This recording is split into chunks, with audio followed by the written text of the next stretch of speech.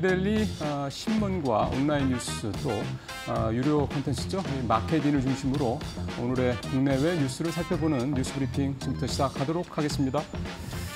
엔비디아 얘기 뭐 안 할 수 없죠. 어제 뭐 전 세계 아마 가장 핫한 주인공이 아니었을까 싶습니다. 보통 주가가 좋으면 어, 어닝 서프라이즈 얘기를 많이 합니다. 실적이 좋아졌다 예상보다 이 얘기인데 어제 엔비디아의 실적 보시면서 어떤 생각들 드셨습니까? 저는 어닝 서프라이즈 정도가 아니라 이거는 뭐 big 어닝 서프라이즈 이것도 조금 아쉽더라고요. 그래서 생각이 들었던 게 그러면 뭐 great 어닝 서프라이즈 정도 얘기가 되는 게 아니냐 사실 그런 생각이 들었습니다. 이미 잘 아시는 것처럼 뭐 매출이 260%가 늘어가고 EPS 즉 영업이익은 주당 영업이익은 뭐 4.6배, 4.5배 이렇게 늘어났기 때문이죠. 아마 이렇게까지 역대급 실적을 낸 그런 기업들도 그렇게 흔하지는 않았을 겁니다. 한 번에 말이죠. 어, 주가도 이렇게 어, 매출이 크게 늘어난 만큼 주가도 어제 좀 뛰어서 결국 천 달러를 역대 처음으로 넘어섰고요. 어제 또 시장이 더 환호하고 주가도 이렇게 반항을 했던 거는 역시 어, 당장 1분기 실적도 물론 좋았지만 2분기 이후의 실적에 대한 전망이 굉장히 좋았던 거. 거기다가 뭐 10대 1 냉면 분화기까지 나왔던 이런 것들이 더 시장이 환호했던 어떤 이유라고 생각이 좀 됩니다. 저는 어제 젠순왕 발언 중에서 가장 와닿았던 거는 어, 새로운 차원의 산업혁명이 시작됐다라는 발언에 좀 방점을 두고 싶습니다.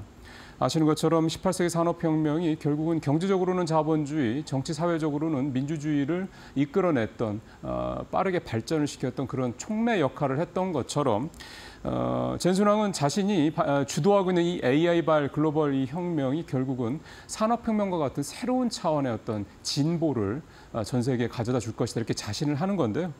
어, 다소 오만하다 싶은 정도 이런 자신감을 들어보면서 들었던 생각이 이제 산업혁명의 촉매제였던 증기관을 발명했던 제임스 와트, 그 다음에 일상을 이 손 안으로 끌어들이는 이 스마트폰 혁명을 끌고 왔던 스티브 잡스, 결국은 젠슨 황도 그 두 사람의 반열에 자신이 올라갈 수 있겠다라는 자신감을 피력했다라는 생각이 좀 듭니다. 자, 엔비디아 얘기 좀 더 이어가야 되겠죠? 어제 엔비디아의 뭐 가장 큰 수혜 국내선 역시 어, 하이닉스입니다. SK 하이닉스 어제 20만 어, 원을 넘어서면서 20만 닉스 참 재밌는 표현입니다. 이렇게 아, 됐습니다. 그래프에서도 좀 보시는 것처럼 어, 2003년 그 작년 1년 전 얘기네요. 1년 전에 8만 아, 원대 조금 넘던 주가가 지금 20만 원 올라갔으니까 거의 뭐 세 배 가까이 한 1년 사이에 주가가 뛸 정도로 이 엔비디아 효과, HBM, 고대포 메모리 효과가 상당히 좀큰 그런 상황입니다. 좀 한 걸음 떨어져서 보면 엔비디아가 앞으로 달려가고 어, 그 뒤를 대만에서는 TSMC, 한국에서는 SK 하이닉스가 따라가는 일종의 삼각 동맹이 이번 1분기 실적에서 꽃을 화려하게 피웠다. 이런 생각도 좀 듭니다. 변수가 근데 있습니다. 에어포켓이라고 보통 얘기를 하더군요. 그러니까 어, 새 제품이 나와서 기존 제품의 수요가 일시적으로 줄어들어서 당연히 매출도 줄고 또 이게 주가에까지 반영해서 떨어뜨리는 이런 역할을 하는 이 에어포켓이 엔비디아에도 나타날 여지가 있다 이런 얘기가 좀 되는 건데요. 실제로 아마존이 기존에 있는 Grace Hopper 칩, GH 칩을 주문했다가 이거를 새로운 어, 최신 칩이죠. GB 칩, 즉 Grace Blackwell 칩으로 바꾸겠다고 주문 변경을 넣었습니다. 그러니까 이게 어, 아마존뿐만 아니라 다른 기업들까지 확산이 된다고 그러면 분명히 기존에 있는 GH Hopper 칩에 대한 이 GH 칩에 대한 수요가 줄어들 수 있죠. 이 부분에 대해서 어제 젠순왕도 언급을 했고요. 국내 증권사에도 여러 가지 전망들이 나왔는데 전체적으로는 별 문제 없을 것이다. 그만큼 엔비디아 칩에 대한 어, 수요가 굉장히 강하다 이렇게 얘기를 하긴 했습니다. 근데 어, 앞서도 말씀드린 것처럼 엔비디아 주가가 천 달러를 넘어섰고 그동안 쉼없이 달려왔다라는 점들을 감안을 할 때 이 에어포켓 문제를 조금 더 보실 필요가 있지 않겠나 생각이 좀 듭니다.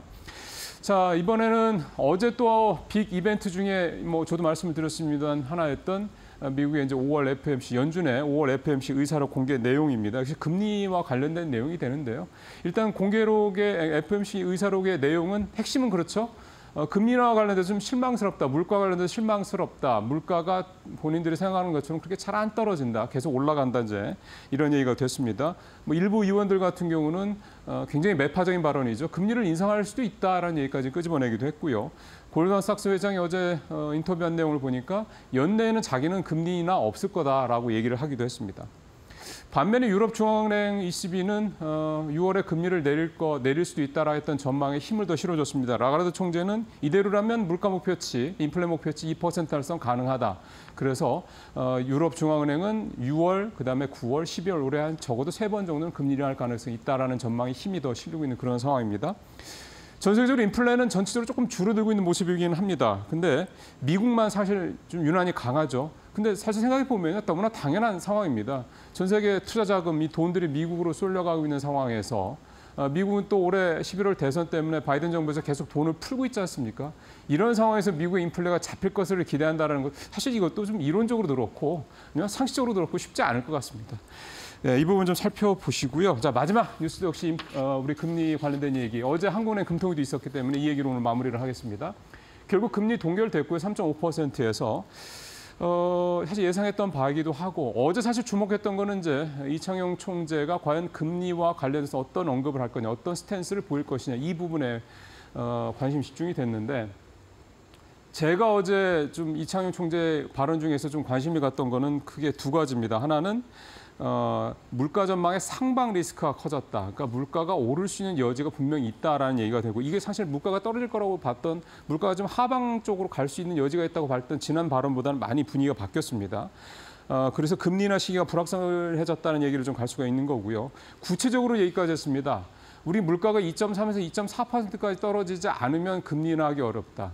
근데 지금 어, 지난 4월 기준으로 우리 소비자 물가 2.9%거든요. 아직 갭이 좀 큽니다. 그러니까 결국 이 얘기도 아 물가 금리 쪽 내리는 부분은 사실 부담스럽다는 의미로 해석이 되고요. 또 어제 어, 올해 성장 전망치를 2.1에서 2.5%로 0.4%포인트 올렸는데 물가 전망은 2.6%로 유지를 했거든요. 그러니까 이거에 대한 설명도 조금 군색합니다. 무슨 얘기냐면 수출이 좋아서 성장률은 오를 거다. 근데 어, 물가 소비자 소비 회복, 민간 소비 회복세가 좀 그렇게 완만하고 또 정부에서도 물가를 잡기 위해서 노력을 하기 때문에 물가 전망치는 기존대로 유지했다.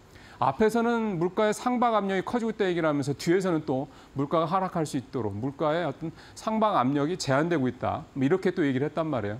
결국 이 물가와 관련해서 또 이제 이어지면 금리 인하와 관련해서 이창용 총재가 현재는 상당히 자신감이 없다라는 거를 이렇게 은행 중에 내비친 게 아니냐 그런 생각도 좀 들었습니다.